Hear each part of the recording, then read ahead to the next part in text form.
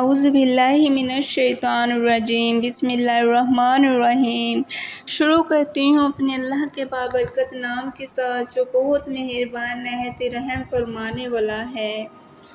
अस्सलाम वालेकुम रहमतुल्लाहि मेरे मोजिस बहन भाई, कैसे हैं आप सब लोग? उम्मीद करती हूँ खैरियत से होंगे। अल्लाह पाक हम सब की ज़िंदगियों में, हमारी औलाद की ज़िंदगियों में, खैर वाफ़ियत रखे अल्लाह पाक हम सब के रिस्क में बरकत अदा करे। मेरे बहन भाई, जो जो मुसलमान जहाँ जहाँ पे मुश्किल में हैं, जिनको भी कोई भी मुश्किल पेश है, अल्लाह पाक से दुआ करती हूँ, उनकी उन सब मुश्किल को अल्लाह पाक दूर करे। अल्लाह पाक हम सब की ज़िंदगियों में खुशियाँ, अमन और चैन और सुकून लेकर आए। हम सब के रिस्क में अल्लाह पाक इजाफ़ा फरमाए। आमीन। इस दुआ के साथ हम अपने टॉपिक का आगाज़ करते हैं। आज का जो मेरा मौजू है, जिस पर हमने डिस्कस करना है, वो है कद्दू की अफादियत कद्दू की गजाइत। कद्दू के बारे में हमने बहुत सी ऐसी हदीस आप लोगों के सामने हमने पेश करनी है, जिसको आप लोगों ने सुनकर ये कद्दू की जो सब्ज़ी है, इसको खाने के लिए आप लोग भी आमादा हो जाएँगे। कद्दू चौके हजूब वसल्लम की सबसे पसंदीदा तरीन सब्ज़ियों में से एक सब्ज़ी है। हदीस मुबारक की रोशनी में मैं बयान करना चाहूँगी। सैदना उनस बिन मालिक रसोल्ला से मरवी हदीस है कि एक तर्जी ने खाना तैयार करके रसूल अल्लाह सल्लल्लाहु अलैहि वसल्लम को दावत दी। मैं भी आप वसल्लम के साथ किया। मेज़बान ने आप वसल्लम की खिदमत में जो कि रोटी और शोरबे वाला सालन पेश किया, जिसमें कद्दू और खुश्क गोश्त था। उनसे फरमाते हैं, मैंने सल्लल्लाहु को देखा कि आप सल्लल्लाहु अलैहि वसल्लम बर्तन के किनारों से कद्दू तलाश कर रहे हैं। उस दिन से मुझे भी कद्दू बहुत पसंद है। अबू तालूद रहमतुल्लाह फरमाते हैं मैं सईदना उनस बिन मालिक रसोल्ला के यहाँ गया। आप रसोल्ला उस वक्त कद्दू खा रहे थे और फरमा रहे थे बोलते तू भी क्या चीज़ है? तू मुझे कितना प्यारा है, क्योंकि रसोल्ला वसल्लम तुझे पसंद फरमाते थे। अब एक और जगह आया है, सईदना रसूलुल्लाह से मरवी है। उन्होंने फरमाया, अल्लाह के अलैहि वसल्लम ने मुझसे से फरमाया, ए आयशा जब तुम लोग हंडिया पकाओ तो उसमें कद्दू ज़्यादा डाला करो। क्योंकि ये गमज़दा के दिल को ढार्स देता है।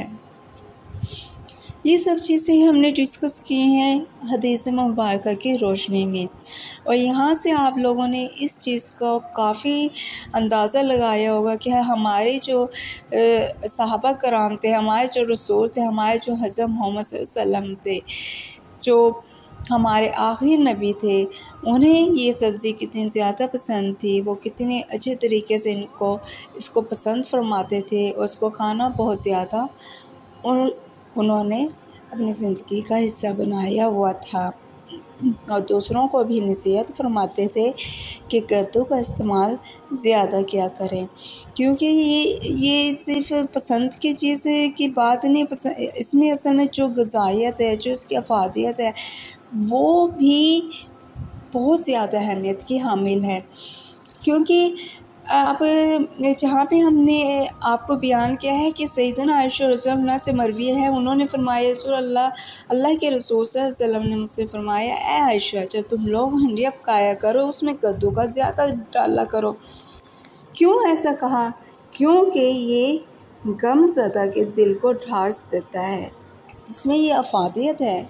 इस वजह से अब हम थोड़ी सी डिस्कस कर लेते हैं गद्दों की अफादियत पर, गद्दों की गजायत पर। ये लतीफ़ आबिद तासर रखता है, मर्द तो बलगमी गजायत का हामिल है। गर्म तबीयत के अफराद के लिए मुफीद है। सर्द मिजाज और बलगमी तबीयत के अफराद के लिए मुनासिब नहीं। इसका पानी प्यास की तस्कीन करता है, इसे पीने से या इससे सर धोने से गर्मी से होने वाला सर का दर्द रफा हो जाता है। ये चाहे किसी तरह इस्तेमाल कर लिया जाए, बहरहाल कब्ज़ कशा है। गर्म तबीयत के अफराद के लिए इससे अच्छी मुफीद और ज़रूर असर दवा कोई नहीं। अगर नींद का भी कोई प्रॉब्लम हो जाए तो जो कद्दू है, उसको अगर कद्दूकश करके, उसको बाल के पी लें तो बहुत पुरसकून नींद आती है। बहुत पुरसकून फिर नींद आती है और काफ़ी ज़्यादा जो घबराहट वगैरह या कोई टेंशन वगैरह होती है, उसमें भी काफ़ी कवरेज देता है। इसके पास फ़ायदे ये भी हैं, अगर इस पर गुंदे आटे का लेप किया जाए यानी कि जो गद्दू है, इस पर हम जो आटा गूंदते हैं, उसका लेप कर दें। फिर इसे चूल्हे या तंदूर की आँच में भून लिया जाए। फिर इसका जो पानी होगा निचोड़ कर किसी लतीफ़ मशरूफ़ के साथ इस्तेमाल किया जाए। तो तेज़ बुखार की जो बुखारात हरारत ज़ाहिर होती है, यानी कि जब तेज़ बुखार होती है, उसके जो हरारत की ज़ाइल होती है, ज़ाइल करता है। कद्दू प्यास भी बुझाता है और उमदा गजायद बहम पहुँचाता है। और जो इसहाल और बहुत सी चीज़ों में ये फ़ायदेमंद है। जितना हो सके कद्दू का इस्तेमाल करें। इसकी गजायत, इसकी अफादी अफादियत हर चीज़, हर लिहाज से ये बहुत बेटर है। अगर मेरे चैनल पे न्यू है तो मेरे चैनल को सब्सक्राइब, लाइक और शेयर कीजिए। अल्लाह हाफिज़।